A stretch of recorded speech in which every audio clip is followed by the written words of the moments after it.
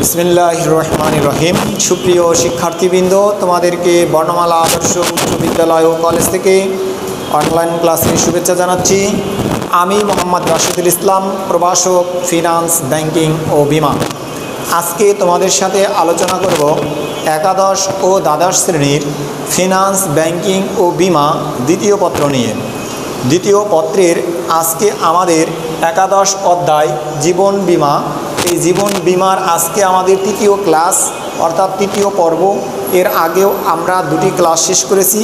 সেই ক্লাসের ধারাবাহিকতায় আজকে তৃতীয় ক্লাস এবং পূর্বের ক্লাসগুলোতে আমরা জীবন বিমার প্রকারভেদগুলোগুলো নিয়ে আমরা আলোচনা করেছিলাম এবং আজকে আমরা কীভাবে জীবন বিমা চুক্তি সম্পাদন করা হয়, অর্থাৎ জীবন বিমা চুক্তি সম্পাদন প্রক্রিয়া নিয়ে আলোচনা করব।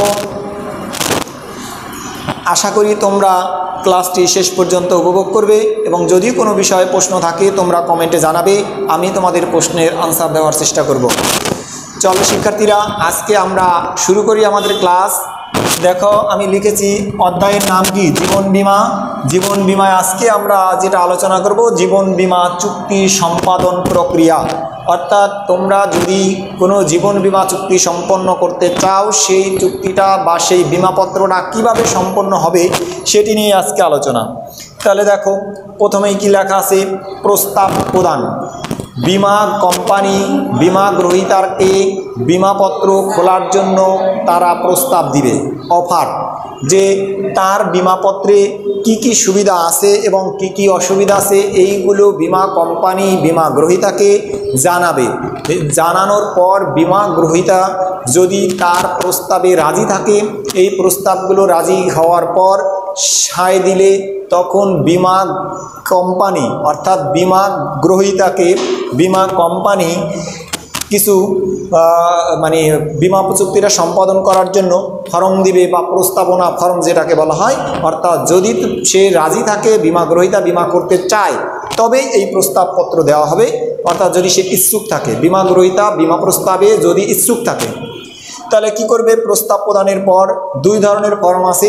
একটা হচ্ছে ডাক্তারি পরীক্ষাযুক্ত প্রস্তাব ফর্ম, যদি বড় ধরনের অ্যামাউন্টের জন্য বিমাপত্র হয় বড় লিখেছি, অর্থাৎ যদি বিমাপত্রটা অধিক মূল্যের হয়, বেশি মূল্যের বিমাপত্র হয়, তাহলে ডাক্তারি পরীক্ষার সহ একটা প্রস্তাবনা ফর্ম আছে, সেই ফর্মটা বিমা কোম্পানি বিমা গ্রহীতাকে দিবে। আর দুই নম্বরে আছে, ডাক্তারি পরীক্ষা বিহীন যদি ছোট অ্যামাউন্টের হয়, অর্থাৎ যদি অল্প পরিমাণ, স্বল্প পরিমাণ অর্থের বিমাপত্র হয়, তাহলে এই ডাক্তারি পরীক্ষাবিহীন যে ফর্মটা আছে বা প্রস্তাবনা ফর্ম বলা হয়, সেইটা দিবে এটা ছোট অ্যামাউন্টের জন্য।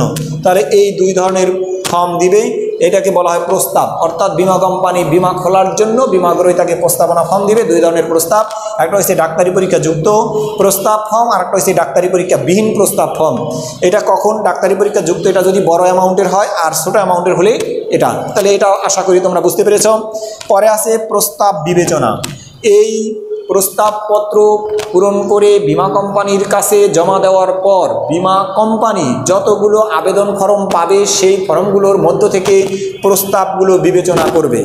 যে কোন কোন প্রস্তাবগুলো ভালো, তারা কি বিমাপত্রটি গ্রহণ করবে, কি করবে না, এই বিমা প্রস্তাবগুলো বিবেচনা করবে।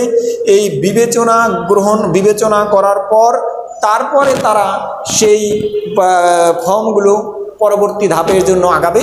তারপরে যেটা হচ্ছে, এগুলো বিবেচনা করার পর তারা এখানে সব ফর্মগুলো রাখবে না। যেগুলো রাখা প্রয়োজন, সেগুলো তারা রাইখা, প্রস্তাব বিবেচনা করবে পরেও কি ডাক্তারি পরীক্ষার তথ্য সংগ্রহ করবে। অর্থাৎ বিমা গ্রহীতা আর কাছ থেকে বিমা গ্রহীতার শারীরিক কোনো সমস্যা আছে কি না সেই ডাক্তারি রিপোর্ট সংগ্রহ করবে কীভাবে এই বিমা কোম্পানি তাদের নিজস্ব ডাক্তার দ্বারা বিমা গ্রহীতাকে চেক করাবে, পরীক্ষা করাবে। যে তার শারীরিক কোনো সমস্যা আছে কিনা, সে অসুস্থ কিনা তার ডায়াবেটিস আছে কিনা, বা অন্যান্য কোনো জটিল কোনো রোগ তার মধ্যে আছে কিনা, এইগুলো পরীক্ষা নিরীক্ষার পর এই ডাক্তারি রিপোর্ট সংগ্রহ করবে। খেয়াল করো প্রথম কাজ কি? প্রস্তাব বিবেচনা করবে। প্রস্তাব বিবেচনা করে যেগুলো তাদের কাছে বিবেচ্য মনে হবে, সেগুলোকে তারা ডাক্তারি পরীক্ষায় পাঠাবে, বিমা গ্রহীতার। ডাক্তারি পরীক্ষার পর সেই ডাক্তারি রিপোর্ট সংগ্রহ করবে। এরপরে বিমা প্রতিনিধির রিপোর্ট সংগ্রহ। যে ব্যক্তি বিমা করার জন্য চুক্তি সম্পন্ন করছে বা যোগাযোগ করেছে, সেই বিমা প্রতিনিধি, অর্থাৎ বিমা কোম্পানির লোক তার ওই ব্যক্তি সম্পর্কে তথ্য নিয়ে সেই তথ্যগুলো বিমা কোম্পানিকে জানাবে এবং বিমা কোম্পানির লোকজনের কাছ থেকে তথ্য সংগ্রহ করবে সেই ব্যক্তি কি তার কি কি অবস্থা আছে বা কোন কোন সমস্যা আছে। এগুলো বিমা প্রতিনিধি রিপোর্ট সংগ্রহ। বিমা প্রতিনিধি যদি ভালো রিপোর্ট দেয়, তারপরে প্রয়োজনে আরও তথ্য সংগ্রহ করবে। দেখো, বিমা প্রতিনিধির তথ্যর উপরই বিমা কোম্পানির মানে মানে বিশ্বাস করবে না। প্রথম কি ডাক্তারি রিপোর্ট? তার বিমা কোম্পানি ডাক্তার দ্বারা চেক করাবে। এটা কিন্তু বিমা গ্রহীতার ডাক্তার না। যে এখন বিমা কোম্পানি ডাক্তারি রিপোর্ট চায়, আমরা নিজেদের মতো করে ডাক্তারের কাছ থেকে গিয়ে একটা রিপোর্ট জমা দিলাম, বিষয়টা এরকমের না। কি করবে? বিমা কোম্পানি তাদের নিজস্ব ডাক্তার দ্বারা ওনার চেক করাবে। সহজ কথা। এরপরে প্রয়োজনে কি আরও অতিরিক্ত তথ্য? এরপরেও যদি বিমা কোম্পানি প্রয়োজন মনে করে যে তার আরও তথ্য দরকার, সে আরও তথ্য সংগ্রহ করবে। কীভাবে ব্যক্তিগত ডাক্তারের বিমা গ্রহীতার অর্থাৎ বিমা গ্রহীতার যে ব্যক্তিগত ডাক্তার থাকে, ওই ব্যক্তিগত ডাক্তারের কাছ থেকে বিমা গ্রহীতা সম্পর্কে তথ্য নেবেন। যে ব্যক্তিগত ডাক্তার, তার যদি কোনো শারীরিক সমস্যা থাকে বা অন্য কোনো সমস্যা থাকে, এটা ব্যক্তিগত ডাক্তার জানে, তাই তার কাছ থেকে সে এই সমস্যা, এই রিপোর্টটা সংগ্রহ করবে। এখানেই শেষ নয়। এরপরে বিমা গ্রহীতার বন্ধু বান্ধবীর কাছ থেকে, অর্থাৎ বিমা গ্রহীতার বন্ধু বান্ধব অর্থাৎ খুব নিকটের যে বন্ধু থাকে, সেই বন্ধুদের কাছ থেকে বা বান্ধবী যেটা বলি আমরা, সেগুলোর কাছ থেকে রিপোর্ট সংগ্রহ করবে। কারণ হচ্ছে, বিমা গ্রহীতা, অর্থাৎ যিনি বিমা করবে, তিনি কোনো অনৈতিক কাজে জড়িত কিনা বা কোনো খারাপ কাজের সাথে জড়িত কিনা, এগুলো কিন্তু সবচেয়ে বেশি জানার কথা হচ্ছে বন্ধু। কারণ বন্ধু বান্ধবদেরকে নিয়ে এই ধরনের কাজগুলো করা হয়। তাহলে বিমা কোম্পানি সেই বন্ধু বান্ধবের কাছ থেকে ওই বিমা গ্রহীতা সম্পর্কে তথ্য সংগ্রহ করবে। পরবর্তীতে এই এখানেও যদি তারা সন্তুষ্ট হয়, তাহলে সামনের ধাপে যাবে যাবে। যে এই তত্ত্বগুলো যদি বিমা কোম্পানি বিমা গ্রহীতার পক্ষে পায়, তাহলে পরবর্তীতে কি করবে? বয়সের প্রমাণপত্র সংগ্রহ করবে। বিমা গ্রহীতার যে বিমাপত্রে এই যে ফর্ম দিয়েছে, ফর্মে যে বয়স উল্লেখ করেছে, সেই বয়স সঠিক কিনা, এই প্রমাণপত্র সংগ্রহ করবে। তাহলে বয়সের প্রমাণপত্র সংগ্রহ করার জন্য কি কি কাজ, জিনিসপত্র বা তথ্য লাগবে সেগুলোর মধ্যে এক নম্বরে আছে দেখো, শিক্ষা সনদ। অর্থাৎ যেগুলো সার্টিফিকেট আছে, সেই সার্টিফিকেট অনুযায়ী বিমা গ্রহীতার বয়স কত, সেগুলো এই, সেই সনদপত্র থেকে তার বয়সের প্রমাণপত্র হিসেবে সংগ্রহ করতে পারবে।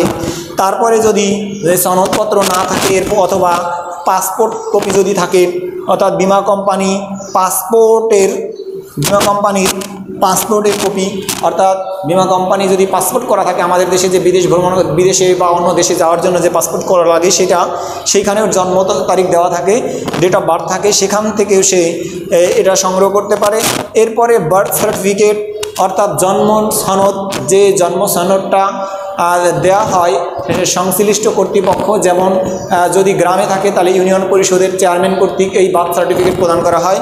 সিটি কর্পোরেশনের মেয়র অথবা কাউন্সিলর কর্তৃক এই জন্ম নিবন্ধন সনদ দেওয়া হয়। এই এটা বাংলাদেশ সরকারের পক্ষ থেকে দেওয়া হয়।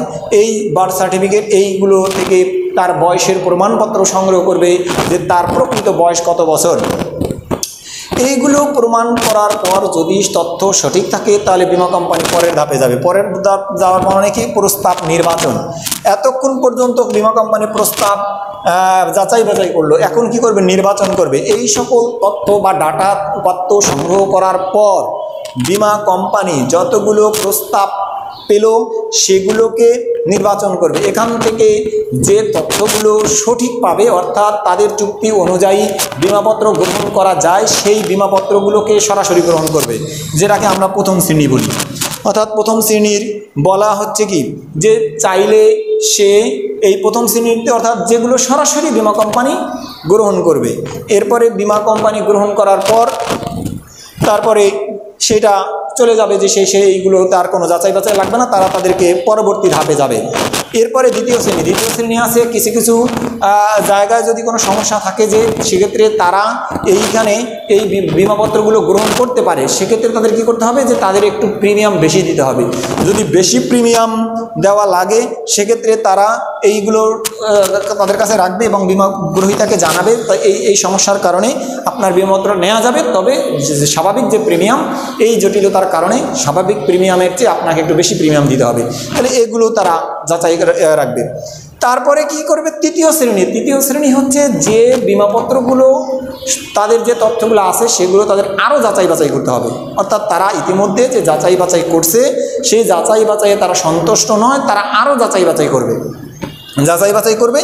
এই জন্য এইগুলোকে আমরা তৃতীয় শ্রেণি বলি। এগুলো তারা রেখে দিবে। ওই যে তথ্যগুলো তাদের মধ্যে প্রয়োজন মনে করবে যে, না, এগুলো আরও যাচাই বাছাই করা প্রয়োজন। তারা সেগুলো যাচাই বাছাই করবে। আর চতুর্থ শ্রেণি হয়েছে যেগুলো একদম তাদের কাছে গ্রহণযোগ্য নয়। অর্থাৎ এই চতুর্থ শ্রেণীগুলো তারা সরাসরি বাতিল করে দিবে। এগুলো আর বিমা করা যাবে না। কিন্তু দেখো, এই তিন শ্রেণি পর্যন্ত তারা রাখবে। এর মধ্যে এটা সরাসরি তারা গ্রহণ করবে। এক্ষেত্রে প্রিমিয়ামটা একটু বেশি হবে। আর তৃতীয়টা আরও একটু যাচাই বাছাই করবে। তারপরে তারা পরবর্তীতে আবার বিবেচনা করবে। পরবর্তীতে আসে দেখো আট নাম্বার এই সাত নাম্বারের পরে কি প্রস্তাব গ্রহণ? এর মধ্য থেকে বিমা কোম্পানি যাদের প্রস্তাবগুলো গ্রহণযোগ্য হয় সেগুলো গ্রহণ করবে। গ্রহণ করার পর বিমা গ্রহীতাকে তাদের কাছে জানাবে যে হ্যাঁ আপনার সকল তথ্যগুলো সঠিক পাওয়া গেছে। আপনাকে আহ, আম- আপনা আপনার প্রস্তাবগুলো গ্রহণ করা হলো। এই প্রস্তাব গ্রহণের পর বিমাপত্র প্রদান করবে। অর্থাৎ বিমা কোম্পানি বিমা গ্রহীতাকে বিমাপত্র প্রদান করবে। বিমাপত্র পাওয়ার পর বিমা গ্রহীতা প্রিমিয়ামের টাকা পরিশোধ করবে, প্রিমিয়াম দেওয়ার সাথে সাথে তার বিমাপত্রটি চালু হবে। এইভাবে জীবন বিমা প্রক্রিয়া সম্পাদন করা হয়। প্রিয় শিক্ষার্থীরা, এরপরে আমরা আর একটা অংশ আলোচনা করব। এক মিনিট বা দু মিনিটের মধ্যে আমাদের একটা বিষয় আছে যে বোনাস। বোনাস সংক্রান্ত একটু তথ্য আছে। আর বোনাসটা কি একটু আলোচনা করি? যে বোনাস হচ্ছে প্রত্যাশার বাহিরে কোনো কিছু পাইলেই সেটাকে বলা হয় বোনাস। আমাদের এখানে জীবন বিমার ক্ষেত্রে আছে বোনাস। সাধারণত আমরা জানি যে প্রাপ্তির চেয়ে অতিরিক্ত কিছু চাওয়া বা প্রত্যাশা করা, সেগুলোকে বলা হয় বোনাস। প্রিয় শিক্ষার্থীরা, জীবন বিমা অধ্যায়ে আমাদের আর একটি ক্লাস হবে। এখানে আমরা প্রিমিয়াম নির্ধারণের বিবেচ্য বিষয়গুলো কি, সেগুলো নিয়ে আমরা পরবর্তী ক্লাসে আলোচনা করব। এই জীবন বিমার বিবেচ্য বিষয়গুলো আলোচনা করার পরে আমাদের এক্ষেত্রে এই অধ্যায়ের কিছু সমস্যা বিশেষ করে আমাদের গাণিতিক গাণিতিক সমস্যা আমাদের অধ্যায় নাই। তারপর আমাদের কিছু জ্ঞানমূলক এবং অনুদানমূলক অনুধাবনমূলক প্রশ্ন নিয়ে আমরা বিস্তারিত আলোচনা করে অধ্যায়টা থেকে শেষ করব। আর তবে আজকের মতো ক্লাস এখানেই শেষ করছি। পরবর্তীতে তোমাদের অন্য যে বিষয়টা সেটা নিয়ে আমরা পরবর্তী ক্লাসে আলোচনা করব। সে পর্যন্ত তোমরা ভালো থাকবে, সুস্থ থাকবে। তোমাদের সকলে সুস্বাস্থ্য কামনা করে আজকের মতো ক্লাস শেষ করছি। ধন্যবাদ সবাইকে।